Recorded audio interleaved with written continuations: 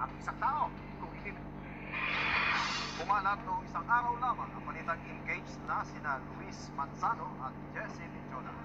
Dahil dito kung kaya't pinotakte ng tanong si Batangas Congresswoman Vilma Santos kung totoo ang naturang balita ng tumalo ito sa isang big event. Kung ano ang sagot ni Governor o ni Congresswoman V ukol dito, ibahagi sa atin yan, ibabagi sa atin yan ni Rocky. Ayaw observan ni Congresswoman Vilma Santos kung engaged na nga ba sina Luis Manzano at Jesse Viola. Ngunit kahit na anong iwas ng actress politician, may mga pahiwati pa rin sa tanong ng mga press na may katotohanan na ang nasabing balita. Bagamat walang direktang pag-amin, ngunit nila kinumpirma na rin ni Batangas Congresswoman Vilma Santos na engaged niya ang kanyang panganay na anak na si Luis Manzano sa girlfriend nito na si Jessie Viziola.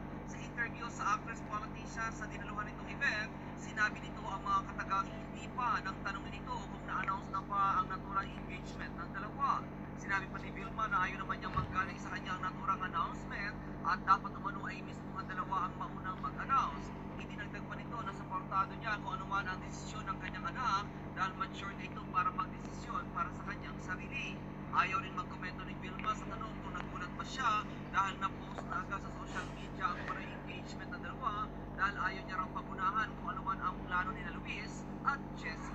Ayon pa rin sa congresswoman, nakikita niya na masaya ang dalawa kaya nai-excite umano siya sa kung ano man ang gustong gawin ng mga ito sa kanilang relasyon kung saan for the end time ay tila kinumpirma muli nito na totoo nga ang balita dahil hindi niya raw maintindihan ang kanyang pakiramdam kung iiyak pa siya o hindi basta sobrang saya niya umano. At iyan ating balitan showbiz para sa DZRH Network News Rocky naglilingkod sa pagbabalita. I-like po ang page ng DZRH News Television para updated at i-share ang trending news na balitang ito para mas marami ang makabalita. At mag-comment para alam namin ang opinion mo.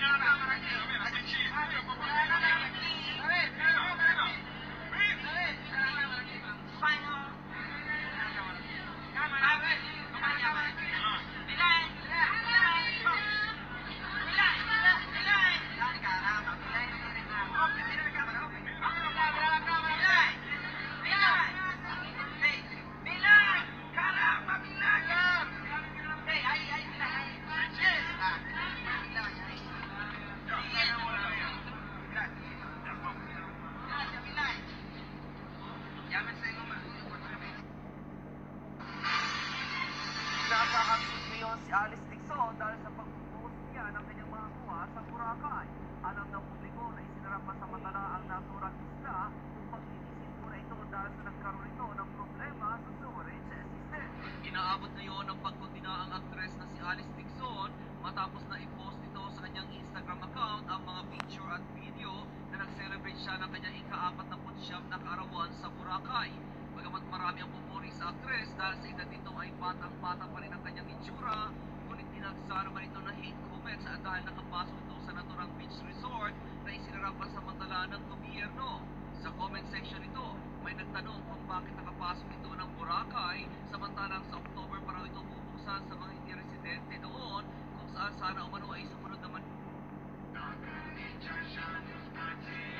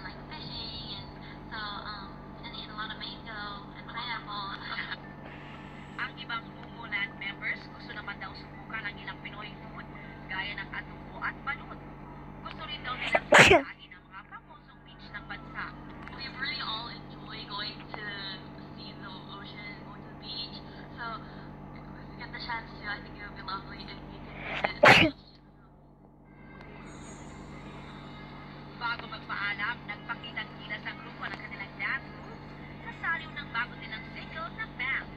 Tampok sa music video nito ang Philippine Chimney at hawak nila ang Philippine flag. Pobre ka ng Bam, Jimmy!